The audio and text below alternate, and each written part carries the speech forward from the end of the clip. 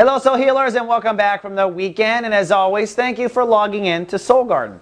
Cloudy private in a meditative state today for the virgins. The moon is in Leo.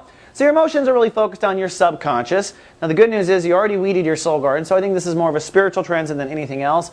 Great time to meditate, great time to connect to your guides, great time to just kind of veg out a little bit. You'll find that your dreams are probably a little bit more intense or full of more metaphor, more colorful right now, and you want to pay attention to those dreams. Maybe do a dream diary right now. It's a great time to journal what you're getting picking up in your dreams. It's those last little details that you're looking for. Also, I think that subconscious work leads to the sun. We're in chapter 2 of Sun in Virgo. Happy birthday, by the way. And today Uranus is ruling the day. That means you're going to have some breakthrough understanding on your ego, your charisma, and your defense mechanisms. And that's good. Most of the time I say breakdown, breakthrough, but Virgo is so evolved now that it's in Virgo 2.0 status, I think you're just going to have breakthrough. Understanding, understanding how you need to present yourself, how you need to defend yourself, how you need to put yourself out there, and that's what it's all about. Really stepping in and embodying Virgo 2.0.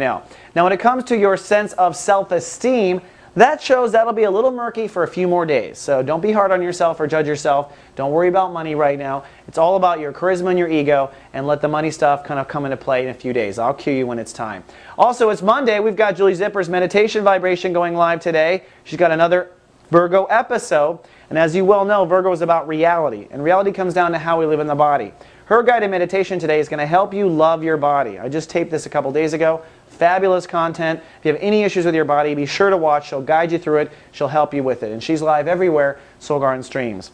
All right, Virgo, that's all I have for today. Tomorrow, it's Lightcast Day. All those details and more in just 24. Live, love, be. Soul.